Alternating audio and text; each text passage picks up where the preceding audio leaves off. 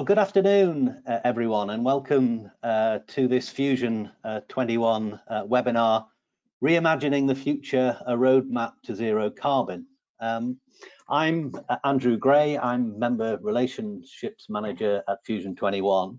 And again, I hopefully uh, you will enjoy today's presentations. We brought together a panel um, we were just been having a, a chat whilst waiting for you all to join, and clearly uh, this webinar is timely with the um, Chancellor's announcement of, we think, one billion pounds of energy efficiency measures for uh, public public sector buildings. So it's really timely, and hopefully we've we've got a good panel uh, to discuss um, how uh, they can assist you in and share their thoughts in terms of uh, how we achieve zero carbon.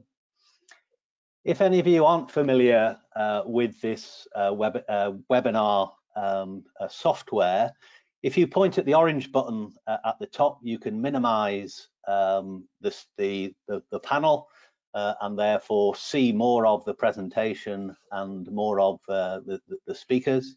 Um, if you are having problems with your audio, then again, if you click on the audio tab, you should be able to uh, make changes to your audio settings, which hopefully um, should um, solve those uh, those issues. And then finally, we do want you, whilst you as the audience are on mute, uh, we do want you to try and participate as much as you can. And if you use uh, the questions uh, tab, you'll be able to uh, answer, uh, to sorry, to ask your questions there. And we will do our best both during the courses of the presentations, but but if not, we can always follow up uh, afterwards if we don't get through um, all of all of the questions. So without um, further ado, um, it now over to, to, me to um, introduce our panel, and we're delighted that we have Patrick, AJ, and Michael uh, uh, Patrick uh, from the University of, of, of West of England, uh, Associate Head uh, of, de of, Department uh, there. AJ Eaton is Divisional Director at MI-Space, and Michael is the Sustainability Manager at Riverside. I'm just going to keep those introductions very, very brief. Um, and what we're now going to do is, is hand over to Patrick. I'm going to give Patrick uh, hopefully a control um, of the keyboard and he will get on with his presentation. So welcome, Patrick, and um, uh, over, to, over to you. Thank you, Andrew. So uh, good afternoon, everyone, uh, and welcome. I'm going to give you a quick 20 minute uh, introduction to myself and then three main tips on kind of the attributes of a, of a zero carbon client. So um, let's hopefully click my way through this one. Here we go. Just a little bit about me, not too much. Um, but I, I, yes, an academic from the University of West of England, associate head of department looking after partnerships. So we have partnerships around the world in Hong Kong and Oman and Sri Lanka, and also regional partnerships uh, in terms of working with businesses and working with uh, further education colleges. We're one of only two universities in the UK that have uh, programs for every discipline of the built environment. So you see a list of our 11 programs down along there on, on the right hand side and nine undergraduate programs. I won't mention the other university, they can do their own marketing. Um, but my, my background is in building service engineer. So I was in practice as an electrical building service engineer for a number of years, looking at pharmaceutical plants and uh, airport developments and office developments. And then I did a master's in sustainability at the Welsh School of Architecture in 2007. And since 2009, I've been an academic here at UWE. Again, one of the biggest um, schools of architecture and built environment in the country with two and a half thousand students and over 100 members of staff. My core team is around eight people uh, to, to do with building service engineering, but then each of the other disciplines will have similar teams involved there as well. Um, we we're kind of used to pitching this sustainability and energy efficiency to different groups eh, within our students. So whether they're the real estate people or the art people or the technology people or the environment people or the history people or the computer people you know all the various backgrounds we kind of learn how to pitch it a little bit differently. So i'm i've tried to pitch it here to a client in the public sector who's interested in thinking about zero carbon and some of the key attributes. That's what my my goal is uh, in this presentation today. Uh, there we go So the, the, one of the main reasons I was invited along today is because during lockdown, I've been running this uh, online free CPD course, which has got a very good feedback. Uh, and it basically um, aims at, it's five weeks long, seven, uh, an hour and a half per week. Uh, and it, it, aimed all disciplines and all experiences talking about zero carbon uh, building design. So there's the, the, the, five weeks.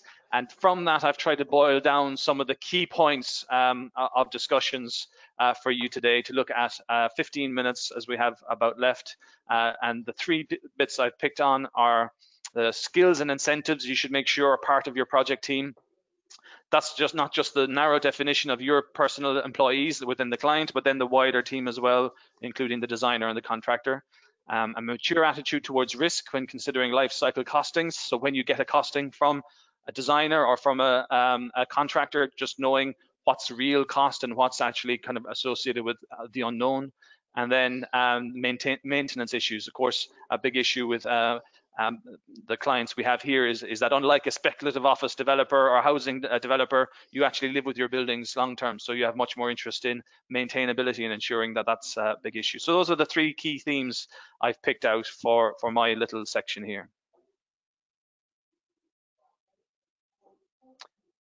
So one, the first one is looking at to ensure that your project team has the skills and incentives to deliver zero carbon. So we, we, we cover one entire session, an hour and a half. We, we tell the story of the eight stages of development that we use here in the UK and the, the various, at each stage, uh, the various kind of positive collaborations and negative behaviors that could kind of increase the chances or decrease the chances of just better performing building. Never mind zero carbon building, but just better performing building. And we talk about the kind of easier early decisions that are made that, that could have zero cost implication, but just put us on a trajectory towards better performance if we knew more about energy efficiency and more about the funding that's available and things like that. And then, okay, the extra steps that need to go to actually make it zero carbon. So we spend a lot of time uh, talking about those over the various stages. Uh, the key things here is is um, making sure that before you're appointing a design team that you you actually getting independent advice as to how to communicate to them uh, efficiently uh, to make sure that they have clear targets that you want them to hit. So uh, RIBA run a, uh, a, session of independent advisors to help clients set out their brief. So they put those brief to a number of design teams um, and uh, for bidding to make sure that it's crystal clear what you want them to price for a lot of the time, if it's unclear what you're asking them to price for, uh, they might miss it, and you might assume that they, they they are going to do activities they haven't priced for. That's quite a common thing that happens in industry. So actually, just a very clear day one brief from the client um, that has been informed by by independent advisors can can really make, be the making of a, of a good project all the way through point out a very interesting initiative that's been uh, making a lot of noise there the last 12 months, the London Energy Transformation Initiative. They've been working at this type of uh, performance specification. How, how would you uh, specify a, a large scale um, housing development and they do a one page poster and say you can put this performance spec to to a, uh, um, a stage one document and then the, the, the designers would know what your targets are aimed for. It's quite an interesting approach uh, to, to clarify that communication. The other part, the part is um, to consider maybe incentivizing higher performance. So if if you're really cutthroat on the design side, then you're you're almost rewarding the people who are going to do basic design to minimum standards. You know, they're going to they don't have enough hours in there to maybe compare contrast newer technologies or you know uh, uh, test uh, new methods of of installation. So obviously we don't want to have to pay extra and then not get the building in, uh, at the end. So is there any way we can have kind of performance related incentives that if at the end we have do our post occupancy, we find we have got a easier building to maintain, lower bills, is there any reward there for the designer having having um, or even the contractor having uh, been all part of that? So is there kind of some way to share the success uh, but, but reduce the risk at the same time? So there are methods in there of, of perhaps performance related uh, contracts. And then again, don't don't assume the designers and the contracts contractors already know about zero carbon. If you want them to consider that when they're returning their bids, so the designer returning their bids at the end of stage uh, one, um, make sure it's clear you want them to consider uh, zero carbon. They may have that expertise in-house. They may consider developing that as part of this project, or they may have to hire in an expensive consultant. And if it's not clear what you're asking them to do um, and they have missed this in their bid, then then uh, that's the start of a project not going particularly well. Um, and, and you know, uh, the best chances of zero carbon happening on a project is that you, it, it, goes according to budget and according to time. And if for any reason we start missing out, then it's things like zero carbon will get squeezed at the end. So just a well-run project could be one of the main keys to delivering zero carbon uh, rather than uh, rather than anything else.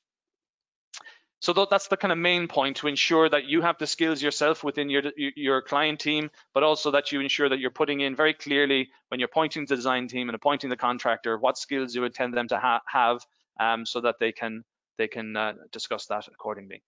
My next two points are going to be uh, relating to uh, costing. So the two, sorry, uh, it's coming out split here. It was uh, uh, when I transferred it across.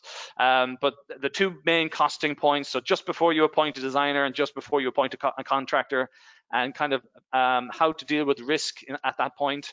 And then we're going to talk about maintenance issues towards the end and the life cycle, how to make sure that you have a low maintenance building as well as anything else. So when you get a quote from uh, either a designer uh, um, at the early stages, here's the here's the price of your zero carbon building, or later on in the process when you're appointing a contractor and they, you get in a range of prices, that price for zero carbon can contain many different aspects in there. Yes, the technical aspects you're assuming. So if you're asking for better insulation, more air tightness, higher than building regs, you're going for maybe passive house standard or whatever it is, you would expect to pay more for that. But there, there's ways to offset that. There's fundings you can get. There's um, uh, and, and it, it's more likely to pay itself back, particularly for new build. I think there's a great case for higher performance standards over building regs for new build much more difficult for retrofit. Uh, we had this discussion just before we came on. You know, there's there's issues there with um, kind of the, the, easier retrofit having maybe been mined out a lot of it, and there's the the moisture issues which um, a lot of people don't understand when you try to uh, retrofit uh, fabric insulation. So there's maybe issues there that uh, that make it more difficult. Then there's more effective services. So a lot of the time we're taking out services as well. So it's replacement. So we're saving from not putting in boilers and radiators by putting in maybe MVHR or whatever the technology is. Um, there's sometimes and there's funding available for that as well to offset that general cost. So when you when you see your price, have they really explored all the all fundings that are out there to try to help you to to make the whole thing more feasible? And one point to note is that um, it is now more and more likely that heat pumps are going to replace boilers on a mass scale in, in dwellings. Um, uh, both London and Birmingham, uh, Bristol and Wales, I discovered uh, the, uh, the other day, have all now agreed that by 2030, no new buildings uh, will be on gas, they'll all be electric, and by 2050 there'll be no gas so effectively shutting down the gas mains in 2050 so those that's coming down the line and for us to hit those targets we really have to be radically changing now. So uh, we cover all this in the short course going through discussions on how this uh, might be. And because i have over uh, a thousand people on that short course i do a lot of kind of um, crowdsourcing to get the opinions of everyone and it seems to be a very common opinion across a, a large uh, scale, sector of people that that's the way we're going and then the last one, cost of renewables. Um, uh, I, I, do think that what, like fabric and, and better services, but then when you look at the renewables as well, there's there's a price for that, and that's probably the easiest to get funding for as well. Um, and whether we put them on the building or regionally close to the building, a little bit offsetting, there's there's a case there to be made for that. So that's those three will be included in the price you get, as well as additional skills and additional uh, on design and additional skills for site. You would expect that, but we've gone through that before. We went through it with BIM, we went through it with uh, health and safety. Anytime you try to do something new, there will be an additional price, and then the market will adjust and, and bring that back down again. But the one thing that will uh, sometimes really throw out that price is the last one, the risk of the unknown. So it's where the contractor or the design team who are bidding for that work, they may tell you at stage two, oh, the price of zero carbon is 15% more. How, how, how real is that price? How much of that percentage is these first five? and how much of it is actually the last one. And we find that actually a lot of the time, this last one has inflated that price quite a lot. Uh, a good example uh, is um, the Goldsmith Street um, building. Many of you probably heard of, of, won the Stirling Prize last year. It's a social housing, 100 developments done to the Passive House standard. I went to the presentation on this and there wasn't any particular new things there in terms of technical. What really impressed me was the role of Norwich City Council, because when Norwich City Council got their first quote, it was high and inflated, and they talked to their architect and they said, let's just go for it anyway. And it actually turned out significantly less. I don't know the exact numbers, but something like 8% rather than the 15% they were initially quoted was the real cost of, of, of adding that, which was much more feasible when you had a high performing building. So just knowing that that, that role of the unrisk, uh, that risk, price of the unrisk often inflates that initial cost. So when you get that cost from the designers and you're, you're tempted to go, oh, I can't afford that, or when you get that uh, cost from the contractors at stage four and you go, oh, I don't know if I can afford that, just just make sure um, that you, you have a little bit more uh, a nuance about whether there's risk involved there or whether it's a real cost. Um, so that's the second point. So the first point was making sure you have the skills and knowledge in the team. Second point was understanding the role risk plays and when you get quotes. And the third one then is just about ma maintenance and sustainability. I have a saying, if it's not maintainable, it's not sustainable. And this is something that I, I imagine the audience who's tuning in today are very interested in and making sure that uh, their buildings are maintainable. I, I, everyone knows the story of the buildings that got handed over and were the maintenance nightmare. You know, um, and we have processes now for trying to reduce that risk. So over the stages of development, uh, we are now asking all the players to contribute to a risk register and a responsibility matrix so that if we do get a bad building, it's very transparent going back who made what decision when, whose responsibility was it to make sure that maintenance was carried through. And so transparency across the whole thing is, is becoming a big part of all all um, the the, mod, the developments in zero carbon and in just build, uh, general changes to like uh, the RIBA stages of work um, making sure that that's clear so that if we do get a bad building, we can learn the lessons from it. Um, the other is having a very clear meeting at stage two when the when the this, this main building has has its shape and you get the client coming in going, I no, I don't want that's going to cause more maintenance or that's going to be work. Really, stage two is where you get to change your mind.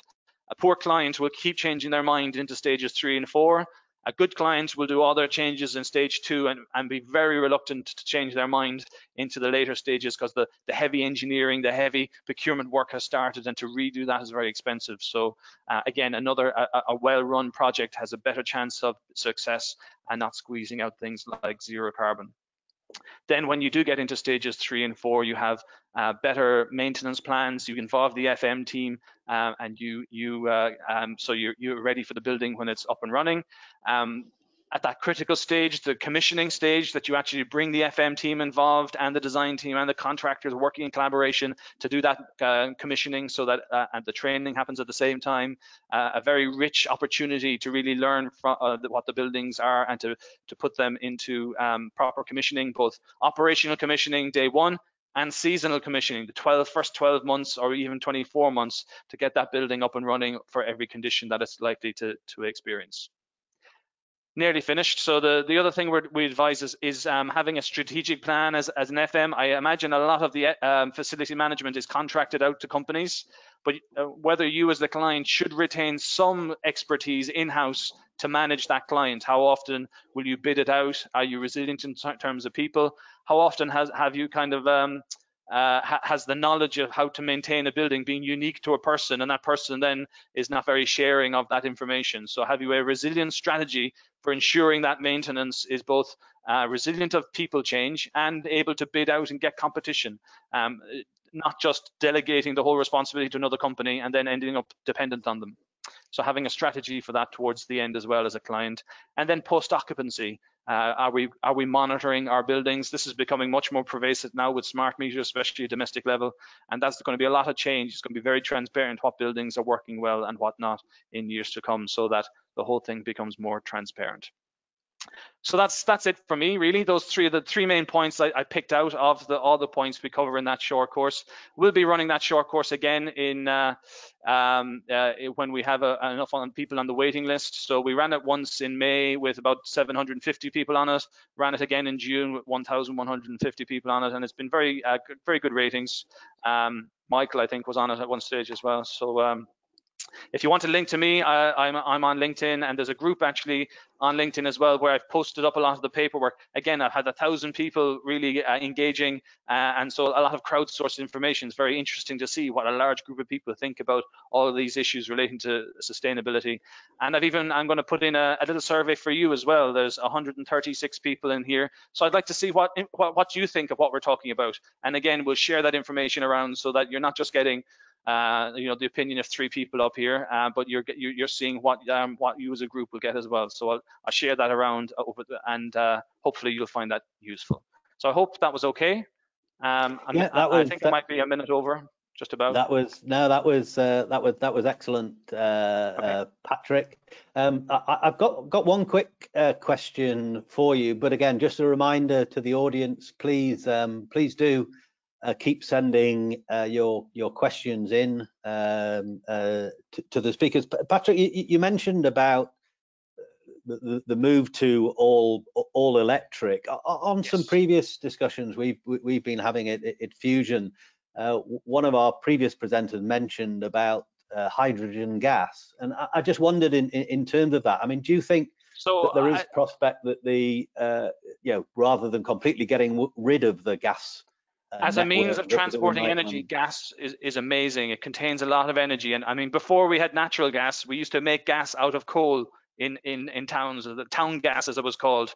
Um, mm. So it's just as a means of moving energy through a building because it's it's medium level energy and you're going down to heat it's very efficient than having to go up to electricity which is uh, if you know your entropy is, is actually a tough thing to to um, justify uh, but the answer to your question is it, it, where do we get the hydrogen it's kind of a bit mm. like uh, nuclear fusion it's always 20 years away you know um, yeah. so if we don't have a sustainable source of hydrogen then it's only a theory and it's not a practical solution whereas we do have MVHR we do have heat pumps we do have high efficient buildings they are practical proven solutions that we can just get on and do now. And and uh, and I think you know maybe hydrogen will come and ser serve a place. If we have excess electricity, we can use that to generate hydrogen. But it's such an inefficient process that I uh, I think um, uh, it would be foolish to to wait for that as a solution. And I think it's um, the move to electric is inevitable at this stage. I'm afraid. Yeah, excellent. Okay, thanks. Uh, thanks for that. And again, uh, to the audience, uh, please please do keep uh, your questions uh, questions coming in. So gonna gonna hand over um, now to, um, uh, to, to, to, to AJ. Hopefully, AJ, you can uh, keep keep hold of the, um, the, the, the presentation, and um, yeah, that's that, that's great. So over over to you. Great. Well, good afternoon, everybody. Uh, thank you for inviting me to this presentation. Hopefully I've got hold of this now and can uh, move us on. Um, so I'm going to be talking to you about um, retrofitting social housing stock, or as we like to call it, I wouldn't have wanted to start here. Um, I'm uh, AJ Eaton, I'm a divisional director for a company called MI-Space. We're a um, specialist in the social housing sector in terms of delivering uh, new build housing and uh, refurbishment, predominantly focused on uh, zero carbon, so passive house for new build, and um, a range of uh, retrofit um, energy efficient solutions um, in terms of that refurbishment marketplace. We're part of a wider privately owned construction group based in the southwest of England and South Wales. So that's enough of the sell. I'm going to tell you a little bit about what I'm going to talk to you about. Um, going to talk to you about the case for change, the, some proposals, technologies, and next steps. I'm going to try and do all of that and follow Patrick's lead of doing that in 20 minutes. So he set the bar high. So the case for change, what I'm going to talk about um, is contained within a lot of government um, documents, the Climate Change Act, the Clean Growth Strategy, um, and as Patrick said, a lot of um, client or a lot of local councils now have declared a climate emergency and committed to decarbonisation by a certain timescale. So people like the Welsh Government have just um, committed to decarbonising their 250,000 social housing units by 2030. Um, but for me, one of the most shocking statistics um, that uh, I've come across is that 12% of households in England are in fuel poverty. Um, and in social housing and private rented is even worse than that, up to almost 20% of people are now in fuel poverty. So um, decarbonisation is not just about um, reducing carbon, it is actually addressing something which I think is an absolute travesty in this day and age. Um, and new build housing will make a, a difference to the, um, the stock we have in 2050, but the majority of the buildings that um, are going to be around in 2050 are already here now. And, and as Patrick said, um, we need to start building now um, to um, decarbonise now, not for the future. Otherwise, we're just going to have another 5,000 or 5 million properties that we're going to have to retrofit um, as well as the ones we've already got to do. Um, so as we say, the why uh, why is the government looking at um, domestic housing? Well, 30% of energy use in, in the country is, comes from domestic and predominantly from heat and hot water. Um, there's also an issue around security of supply. Gas um, is a very efficient uh, method of fuel, but we are now a net importer of, of gas, um, and we've got, and that is really causing a problem with security of supply. Um, and with you know, we are in a situation where within 24 hours, in certain cases, we are on the verge of running out of gas in this country at times. So security supply is a big issue. Moving to electric, whether that be renewably produced or whether that's produced by nuclear power, however it's produced, um, means that we're in control of our own destiny.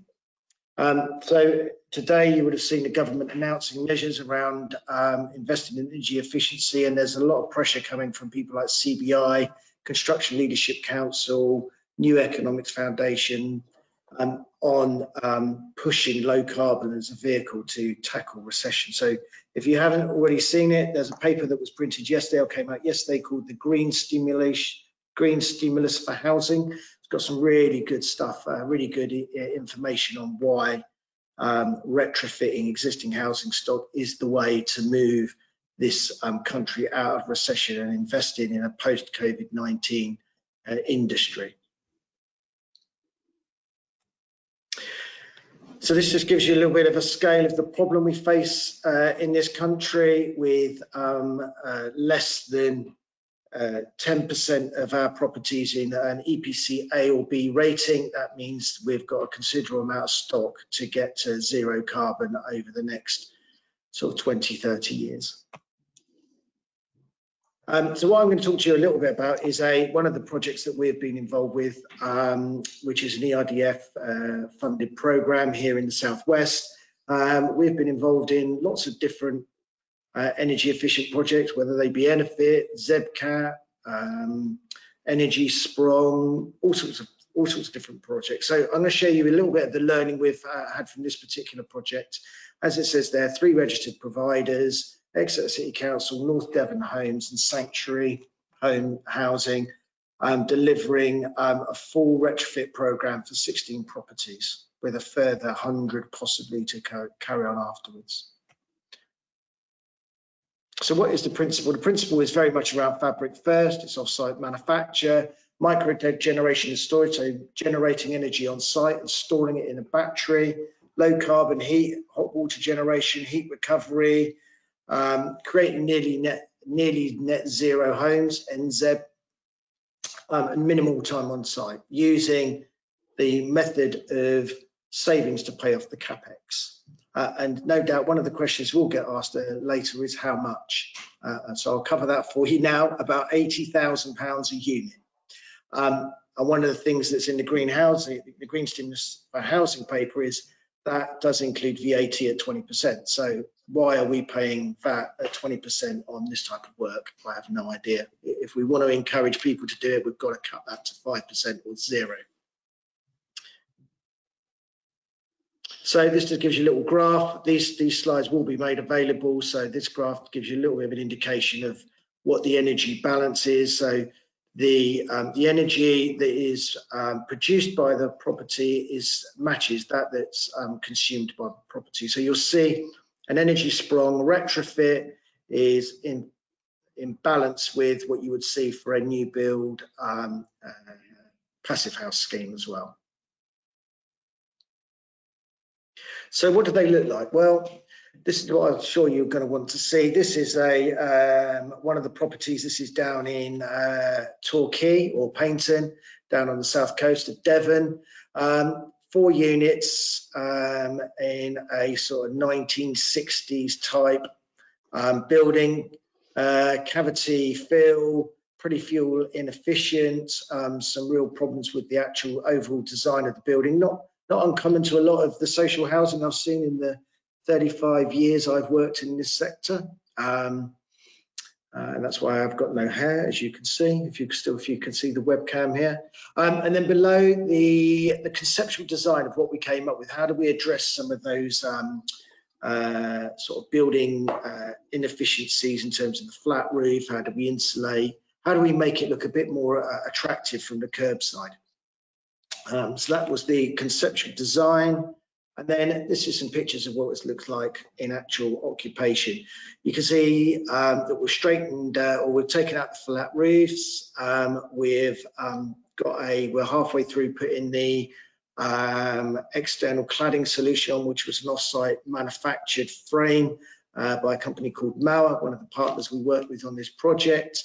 On the left-hand side there, we've got an energy enclosure, which holds the um, ground source heat pump, the um, thermal store, and the battery pack. And in this next drawer, in next picture, we can see um, the outline of the PV array that's gone on the roof um, to deliver the uh, micro generation uh, electric production for the properties. So we've said the increased capex um, reduces um, the operating cost. So in this case, with the, the Energiesprong with the ZEBCAT project, we have to guarantee the energy performance of the, um, of the design that we have developed as a contractor. So it's, it's, a very different way of contracting. Normally, as a contractor, what we get is a design that's procured, is produced by somebody else and will be asked to just install. In this particular case, what we were asked to do was to put together the design team and come up with a solution to deliver the um, energy performance. And not only do we have to design it, we have to guarantee that performance as well. So it does really focus your attention on making sure that the um, the performance gap that we tend to have with buildings is dramatically reduced because if the energy, if our building doesn't deliver the performance that we're required to, we actually have to pay the resident the uh, the difference in the energy the energy they use. So um, it's really helped us to to drive our design concept on. Um, the capital replacement savings and repair savings all go towards the model to make it work. But what it does is it brings forward all of that capital expenditure into one big lump.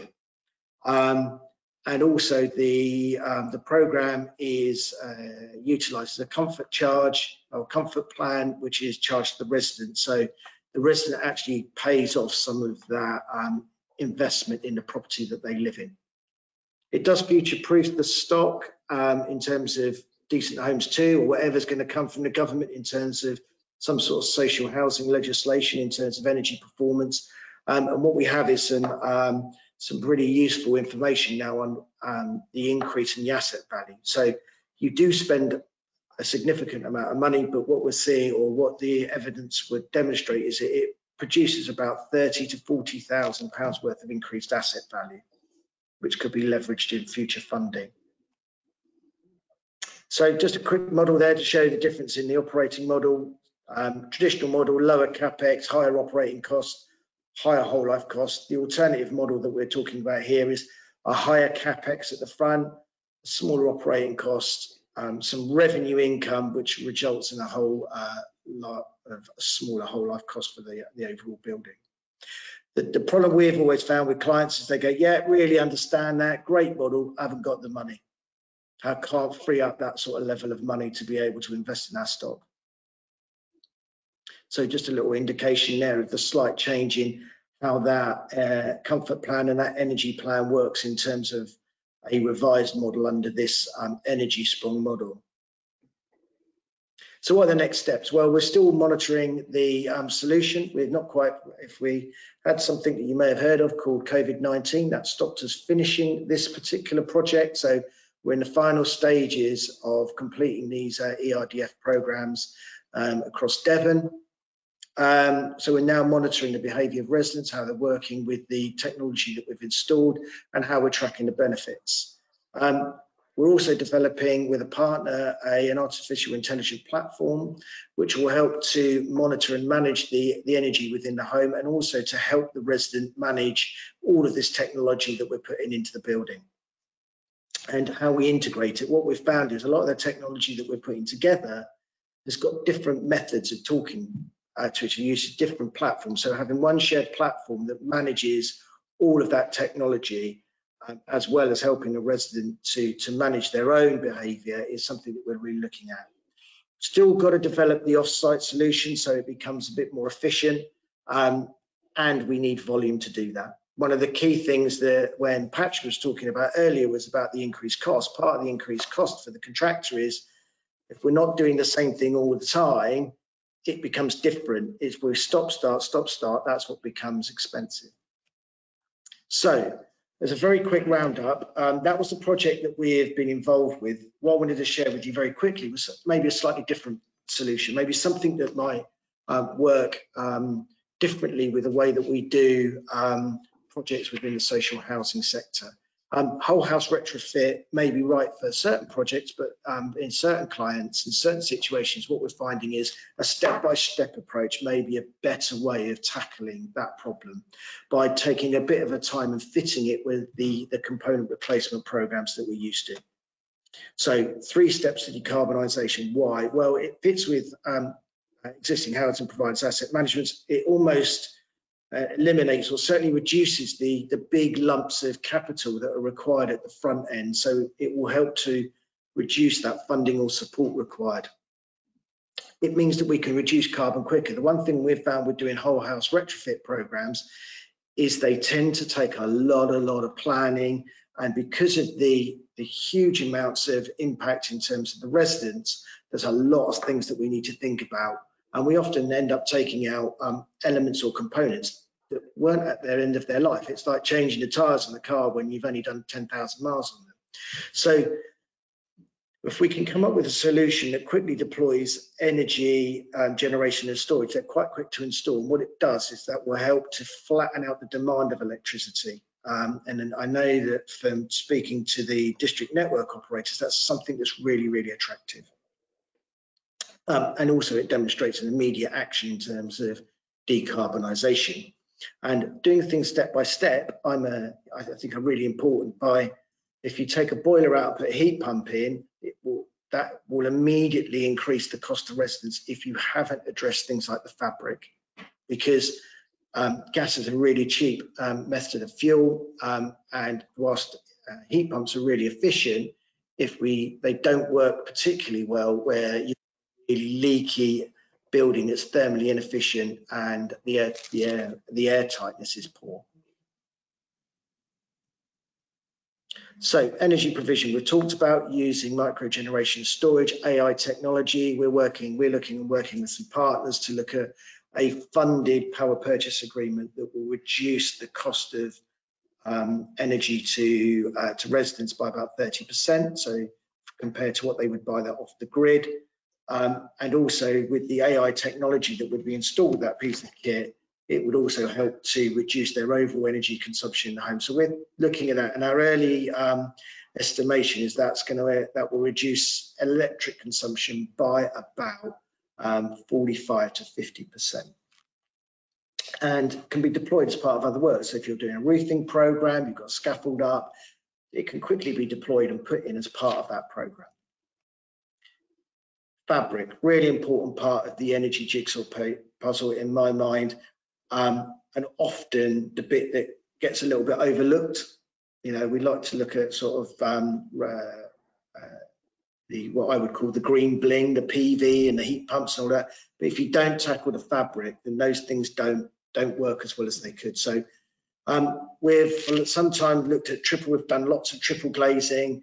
Um, but I think if you, we, we from Amwell, that, that cost benefit analysis is that double glazing, um, if designed well with the right um, uh, detailing around those cold bridging, um, can be a cost-effective solution. Uh, spending that extra money on triple glazing can often, you know, you know, is almost double the cost of putting in a double glazing increasing the loft insulation, looking at the floor insulation, the ground, the slab, the insulating the slab, looking at how we can do that, but thinking about how that insulation works in terms of those BD building details and doing it as part of the other. If you're going to be replacing, you're putting a scaffold up, think like to replace the roof, think about the windows, are the components, are the windows going to be replaced? If so, combine those um, elements together to get in to get efficiency. It's a bit like the meal deal down at McDonald's.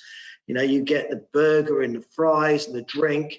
You you pay five pound for them, but if you buy them all individually, they're seven pounds. So you get a little deal by by combining those work streams together. And then the final step is that move to uh, electric heating and hot water. What we've found from um, the, the, programs that we've done is that um, the heat pump is a really, really good um, piece of kit.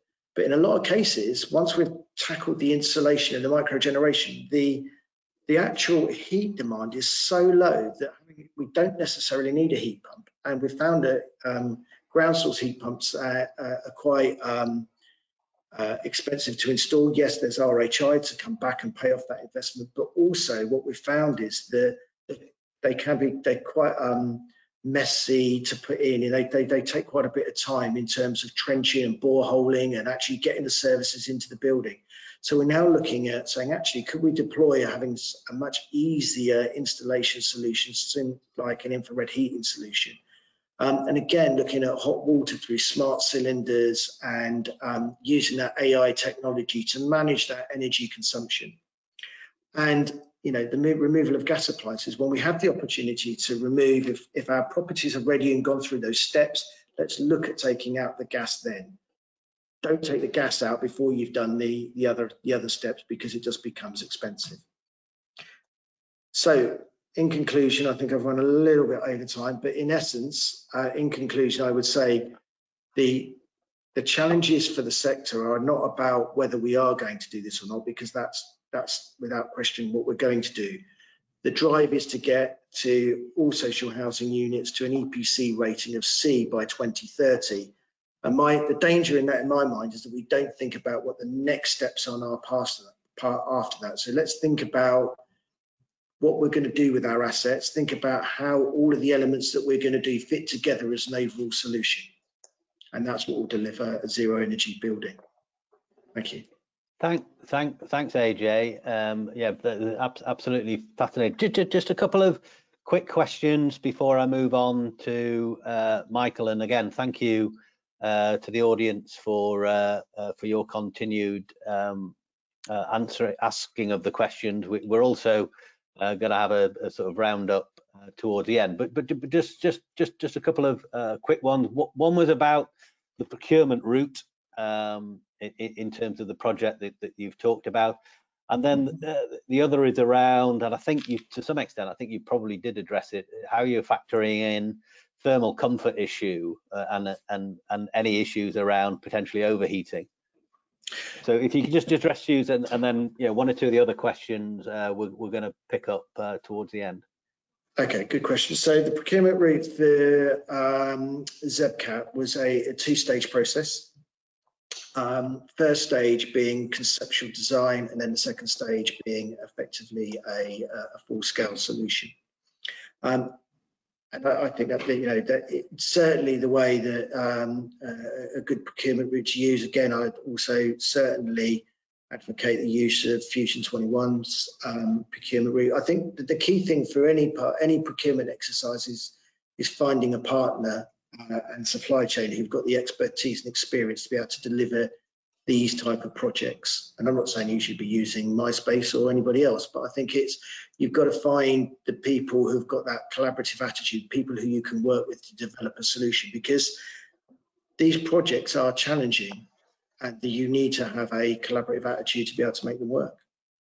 Yeah. Um, and the second part about um, overheating, yeah, it's a really good point, really good point. Um, I think we've, in terms of, uh, we've looked at um, how we've um, looked at shading and how we've looked at cooling. Um, and the heat pumps can be used to cool the buildings as well as um, uh, to heat them. And I think it's going to be a bigger issue. The, the, overheating of buildings is a bigger issue than probably the heating of buildings in the future.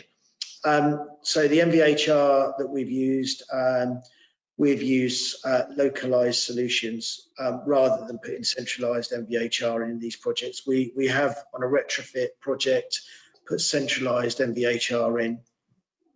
And it, it, in, it's just not practical in occupied properties trying to get um, ducting and um, the, the centralized system into, into occupied buildings, which are often cluttered and difficult to get in. So our approach has been really about minimizing the um, the internal work that we undertake and trying to do everything externally as much as we can. And in a COVID um, environment, that's even more important, I think, well, if we can limit that, that interaction. Okay, thanks. Okay, so uh, moving then on to our final uh, presentation, and as I said at the beginning, Michael McGowan is Sustainability uh, Manager at um, uh, Riverside. So over, over to you, Michael. Thanks, Andrew, um, and thanks to Patrick and AJ for the presentations. Um, it's been great, or it's great to share this platform with two people who are advancing this agenda within the sector. So um, I've certainly learned more again today, so thank you for your presentations. Um, start with a little bit about myself before going into the presentation, which is um, talking about how we overcome cultural and behavioural barriers to achieve a net zero carbon strategy. And the strategy that we probably tried to advocate recently is around the power of positive disruption. So whilst that sounds like quite a emotive and bold term, hopefully during the presentation you'll see um, some of the things that we hope to implement as a, um, sector really to try and advance the challenge that we've got ahead of us. So I'm Michael McGowan. I am the Sustainability Manager for the Riverside Group. I've been in post since November 2018, but I've worked for Riverside since 2009. Before that, I was working in private practice as a building surveyor for 12 months. Previous to that, I graduated from Liverpool John Moores with a Masters in Commercial Building Surveying. Since I joined the asset team in 2010, um, I've delivered around 30 million pounds worth of retrofit and renewable projects. And in my current role, the team that I'm working within have secured funds in four and are in the process of delivering just under 10 million pounds of fabric first and affordable warm programs across our asset portfolio. So I thought I'd tell you a little bit about Riverside for those who don't know. Um, we started or were formed in 1928 as Liverpool Improved Houses. We had 15 homes at that time in Swan Street in Liverpool, and our aim at that point was making houses, housing affordable to those most in need.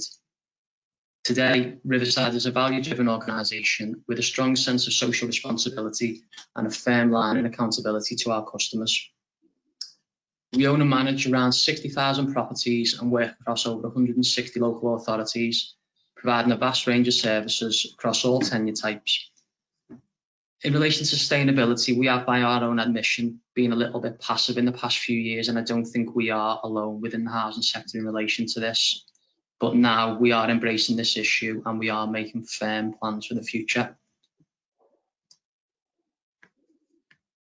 So as I say, we have been a little bit passive, but in the past eight months, I've seen a massive increase in the discussion and action on sustainability across our group whilst my role is primarily, well, based within the asset services department, we have been having a lot of discussions at group level recently, and we formed a group of climate champions who have both the subject matter interest and also the influence within our business areas to instigate change.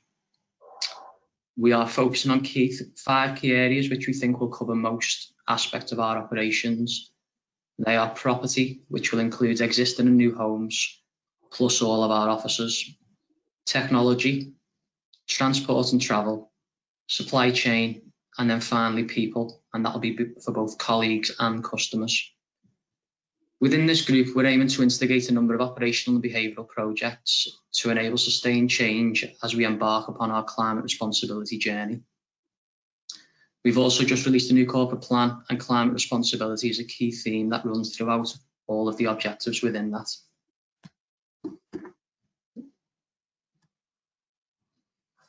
So when I was preparing for this session, I thought I'd better brush up on my terminology, um, and I actually thought I should research the term strategic planning. I found five key phases within that, which are to clarify your vision, gather and analyze information, formulate a strategy, implement your strategy, and then evaluate and control. And that sounds very simple when it's written down as five succinct, succinct points, but all of these will be steps that we all recognise. And when we think about it in relation to our net zero carbon strategies, there are clear barriers across all of those. So the purpose of the presentation today is to talk about the barriers that we're all going to face in achieving this shared goal. I can't get enough across the point that this is a shared goal. With all change, we will all face barriers as we try to implement our strategies in relation to climate responsibility. For the purpose of the presentation today, I'm going to focus on key three specific barriers, and they are leadership, either governmental or organisational, financial resources, and people.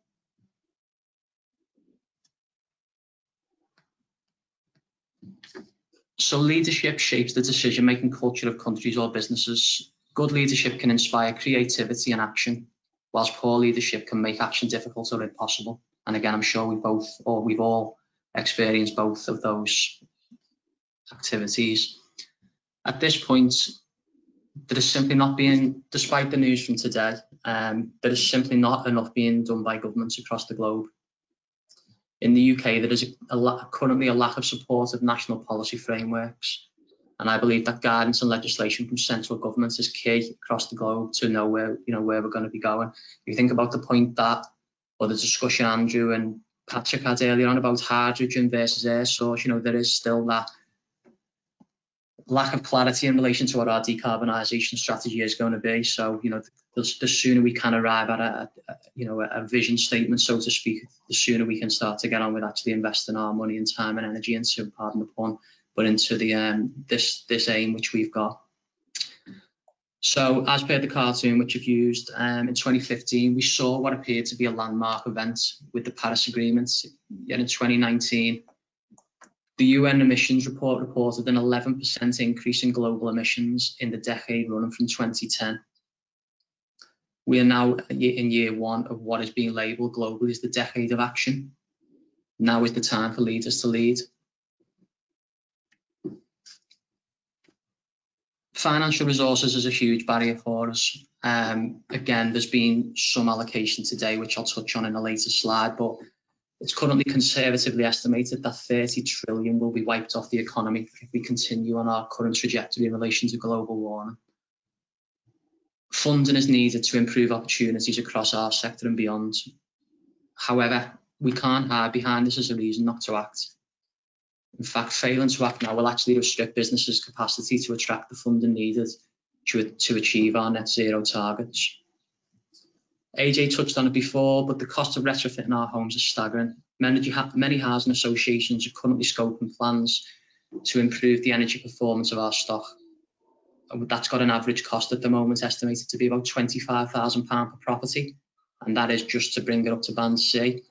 Um, I am delighted to hear the point that AJ made before, but that point that I've just made actually it evidences how, how easy it is for us to get lost on the road to net zero I go to many sessions and many meetings and we talk about band C as the destination. It's literally the step on a journey. You know, to hear AJ say that before gives me so much confidence. And, you know, it's great to see that there are people within the sector who are tuned into that fact. Um, people, as with all change for me, the biggest barrier to transition to net zero is going to be people. Um, and I know Patrick talks about there's a specific section of his five week course which talks about uh, collaboration, but that comes back to the point he made earlier around skills, knowledge and behaviours. For me, there's still a lack of appreciation of the scale of the risk of climate change poses to us, but also for the opportunity presented to us by transitioning to a zero or low carbon economy. We've got to be mature in our appreciation, though, that of the challenges that people face whether that be understanding, economic or habitual. I think education and support is key, whether that be for our colleagues, friends, families and customers. We all make, we all make daily choices which can contribute to achieving our goals. I'll be honest, my own considerations have changed massively since taking my role in 2000, 2018, but then more so since we had our son in 2017 there is a, a, piece around the legacy of the decisions we make today, you know, and how that's going to impact the generations of tomorrow. It would be very simple for me to talk about the barriers or obstacles that lie ahead of us. And to be fair, I think I fell into this trap when I've presented in the past. But what, whilst I want to acknowledge them, I also want to talk about how we all have the power to positively disrupt these constraints which we find ourselves working within.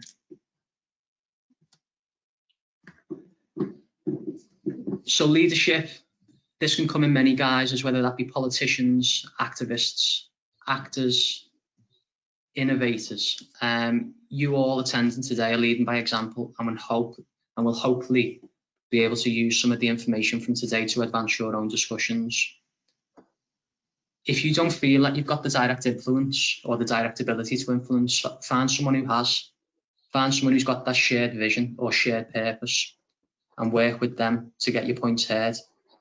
Align yourself to those people and lead the discussions with those around you. Get the leaders in the business to ask the right questions and ask them the right questions. But more importantly, I think it's important, it's key that we don't people, we don't tell people what to do. Instead, leverage their curiosity to get them involved and grow that band of voices because, you know, the, the, as you'll see with some of the things that have been going on globally, you know, it started with one person who, you know, went on strike on a, they didn't go to school on a Friday and then we had a, you know, a, a multinational army of people doing it, you know, whether you agree with the, um, the way in which it was done or some of the strategies which are deployed, the fact that it heightened it into the public consciousness is, is unquestionable. So financial financial resources, as we say, um, wonderfully timed on, on the back of the, um, the announcement today from the Chancellor. Um, and we are seeing shoots of optimism that the tide is slowly turning on this.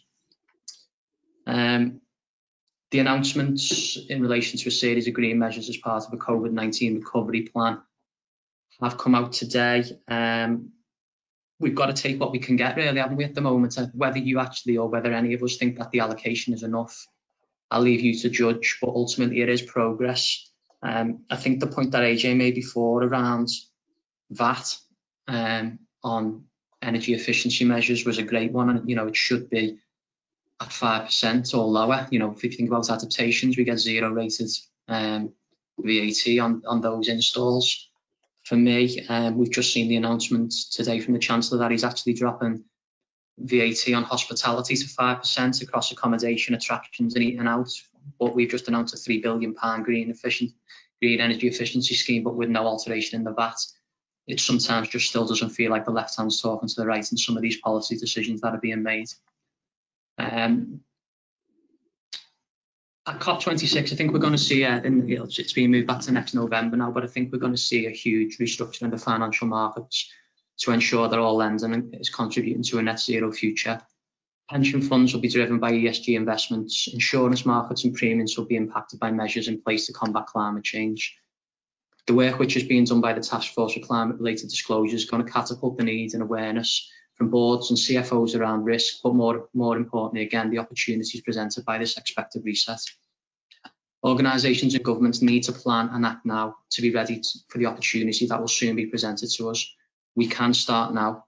There are low regrets investments which can be made into a fabric first approach across our housing stock that will in no way be to the detriment of our long-term ambitions. So, you know, as we've all touched on today, let's make sure that these pro these properties are as efficient as they possibly can be before, as the AJ rightly pointed, we go to the sexy stuff around, you know, solar PV, air source heat pumps, etc.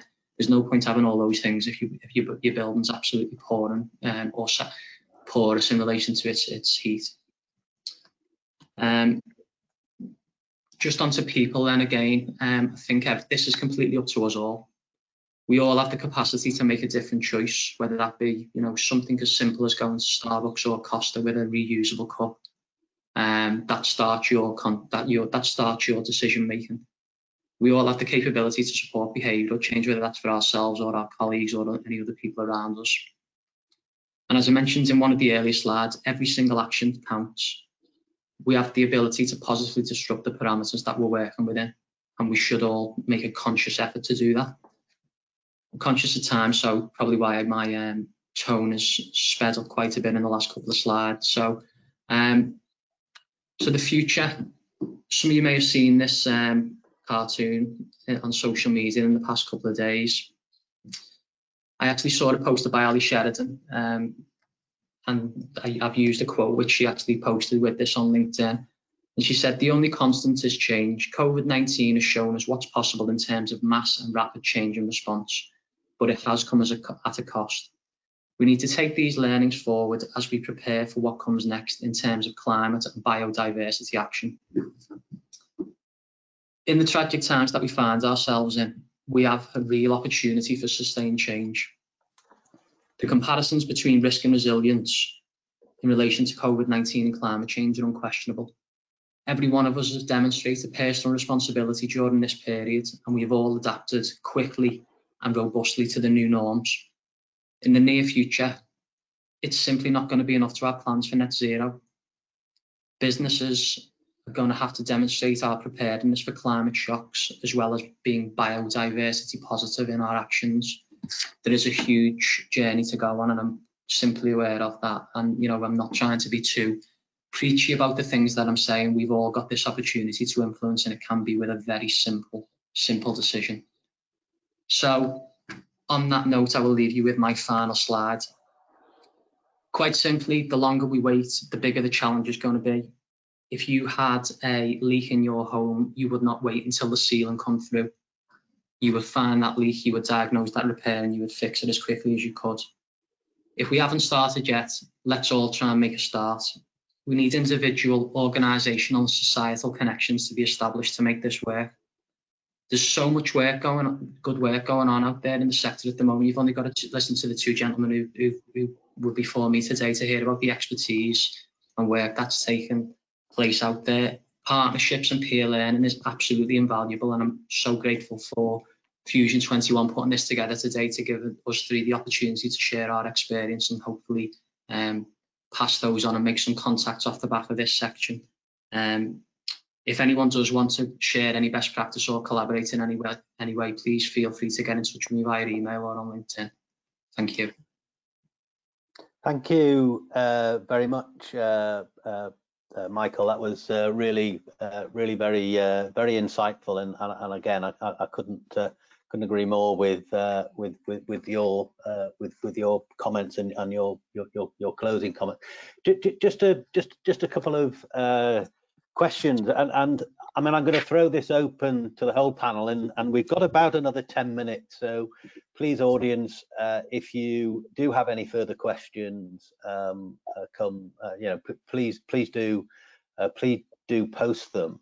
Um, but a, a, sort of general question and, and, from from one or two of the things and and it's about what I would describe as sort of uh, customer confidence in this year. You know, I mean, I did talk about hydrogen gas, but we have been used to, you know, the old gas boiler, the old radiators, uh, uh, and so on, and and the whole thing around uh, customer behaviour.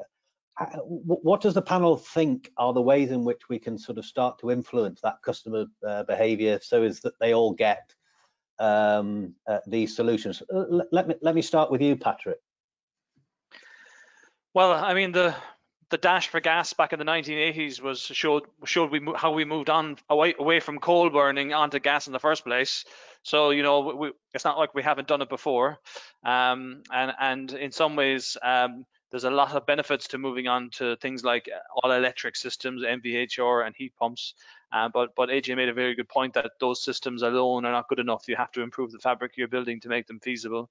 Um, but there's a lot of psychology out there in terms of and, and economics in terms of how do you instigate change uh, down to even the level of of you know we have an army of people who main, maintain boilers out there but they're not transferring onto heat pumps as quickly as we would need. So retraining down to that level to installers to procurement lines the, the whole thing you know. There was a very interesting study done recently looking at just uh, high density housing like apartment housing for cities and they looked at all the different types and they actually ended up with um, an, uh, a package unit MVHR with a with a with an air source um, heat pump that you can get going put through a wall. And they said this was by far the winning option for high density living because it, it you can buy it as a packet and it's easy to install. And it, it, talked all about the social changes of things like ground source heat pumps and stuff like AJ talked about all the little things that can go wrong on site.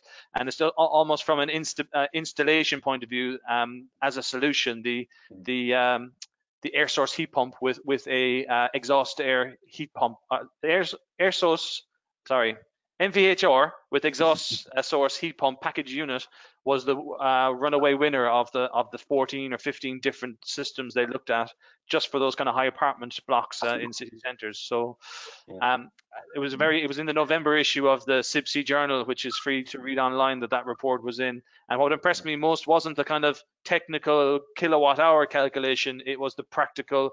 You know, how would the, how would you actually buy them and install them evaluation that formed part of it as well. That was very interesting. Yeah. Okay. A- A- AJ, again, just just just to remind you, in, in terms of that focus on customer behaviour and and and you know getting that getting that buy-in, what what what's your what's your experience?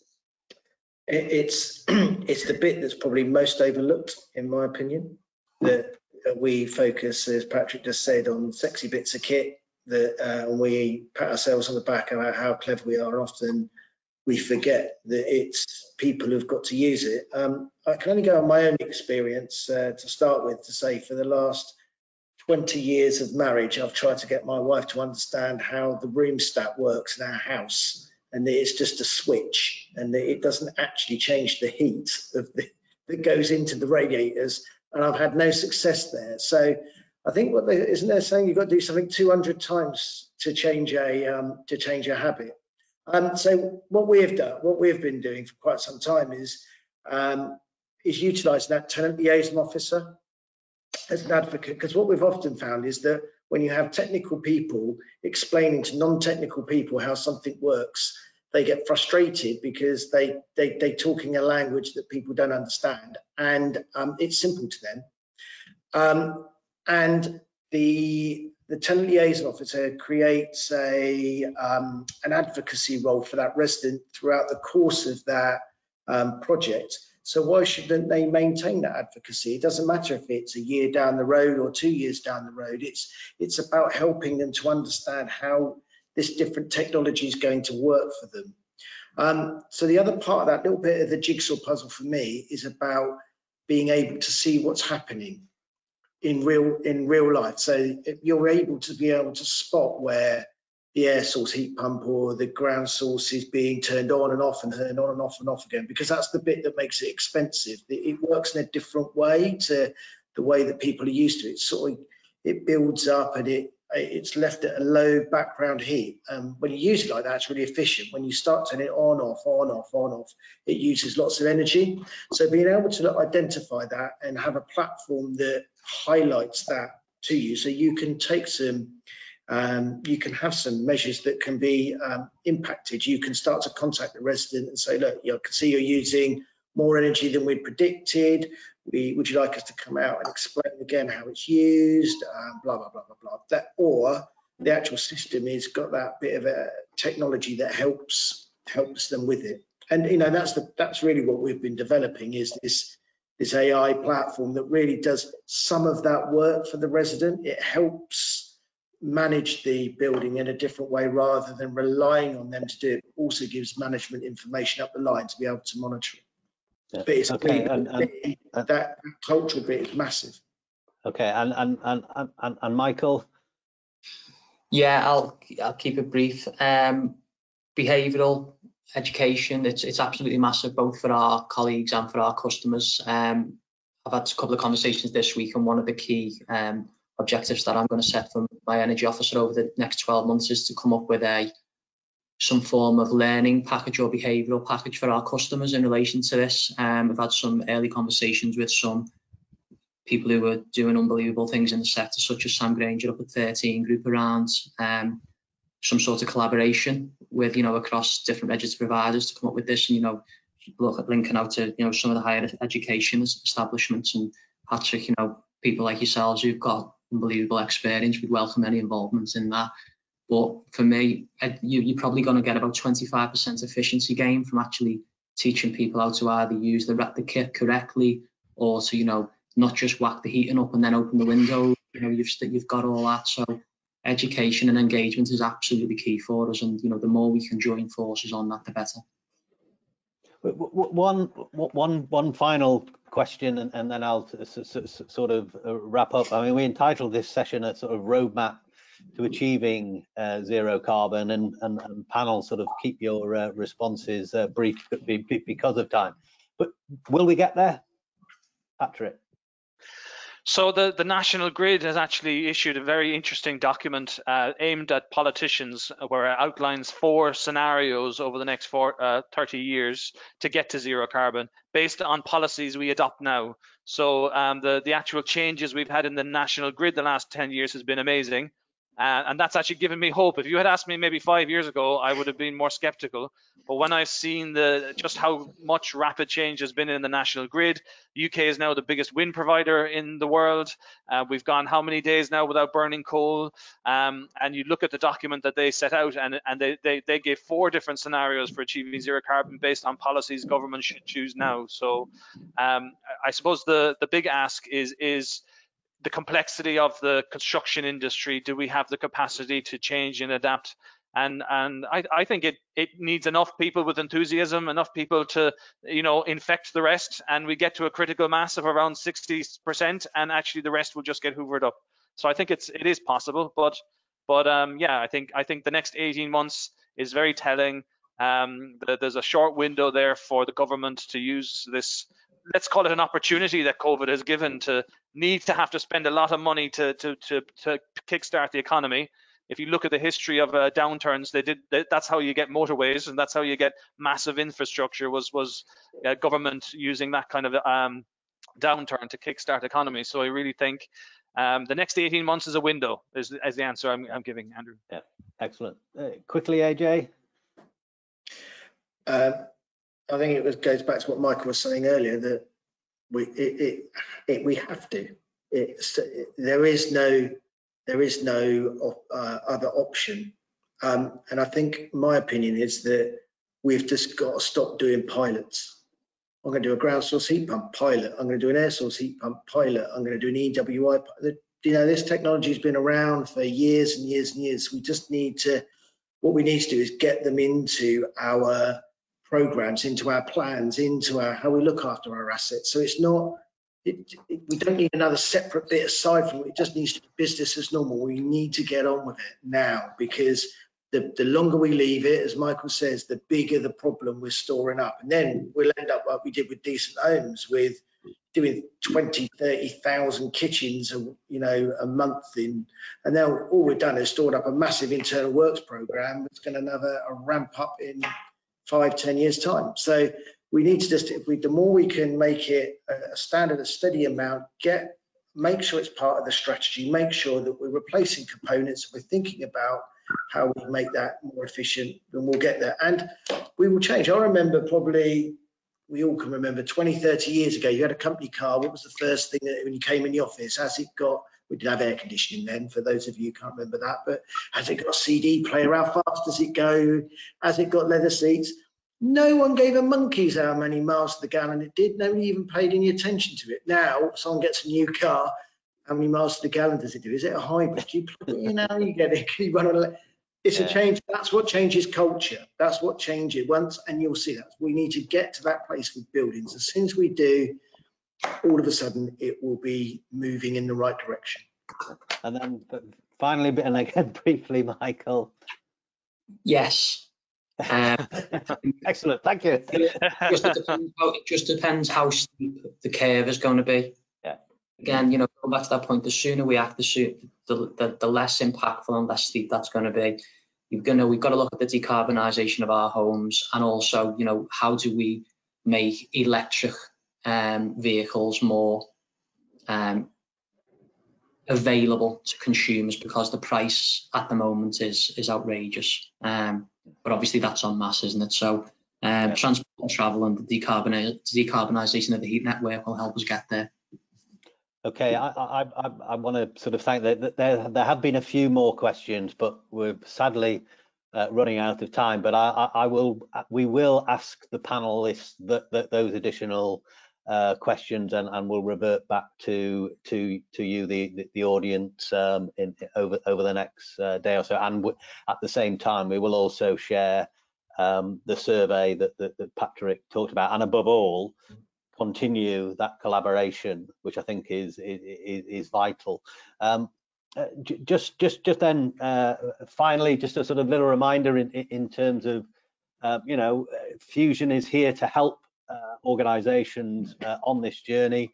uh, we have specific uh, frameworks uh, in place that, that, that cover a, a, lot of the uh, issues that being talked about uh, here. So again, please do get in touch. And again, that sort of whole house, uh, you know, wider re regeneration, again, that, that, that, that, that, can, that can be done. our heating and renewables framework, again, recently set up um, to cover uh, these uh, additional uh, items. So, you know, please uh, do come and, and, speak to us. We are very keen as Fusion 21 to continue uh, this agenda, to continue this debate, as, as Patrick, Michael, and, and, and AJ uh, said. And yeah, you know, please, you know, do get in touch. We, you know, we we do want to continue to uh, inform and share uh, good practice in terms of what's what, what what's going out. One sort of final prompt whilst we're on surveys, uh, we as Fusion 21 have launched our uh, annual uh, procurement trends survey. If you haven't yet had uh, the link, um, please go to our website and, and complete that. It's an important part of what we do, finding out uh, what, what, what's happening uh, in in in terms of the world of procurement, and again, particularly in the, the current environment, that's very important. So again, just finally uh, uh, to wrap up, we will uh, continue our, our series of, of, of, webinars. We hope you uh, have enjoyed it. An actual round of applause from me to our speakers, Patrick, AJ and Michael. It's been a really, really interesting session. Thank you to our audience. we had uh, over a sort of 150 uh, at, at, one point, which is which is really great uh, news. Um, we will be sending out a short survey after today, so please complete that because your views are very welcome. So again, thank you very much. Have a great rest of the day, and as ever, stay safe. Thanks and, and thank you, Andrew. Goodbye. Bye, Michael. Thank Bye, AJ. Bye. Guys.